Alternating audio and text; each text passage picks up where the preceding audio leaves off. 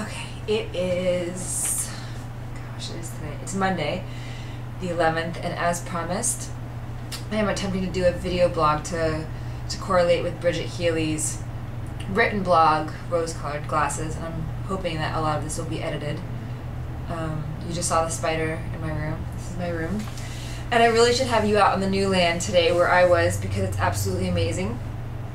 Um, it's so good to be back in Haiti. I was gone three weeks, which is the longest that I've been gone since the shop was open. But um, I think the most amazing part is that the shop 100% can run without me.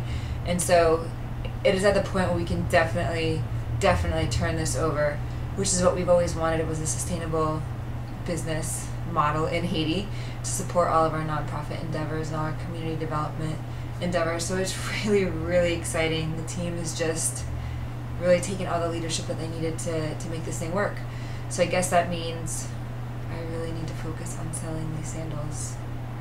I'm really hoping that that we can break into this market, whatever that whatever that means, um, to start selling the sandals because we need to. Um, so that's really amazing.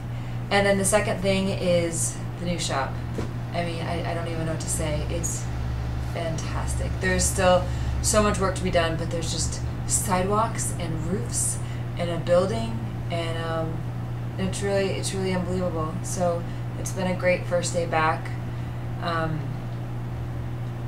and I feel really really lucky. I feel really lucky to be here and to to be a part of all this. So it's good. I'm pretty exhausted.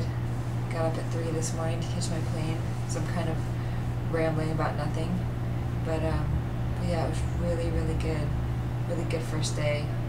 And um, I'm going to try to do a really good job of keeping track of what we do so that everyone back home, if you're interested, can participate in, in the development of Haiti because there's still a lot to do.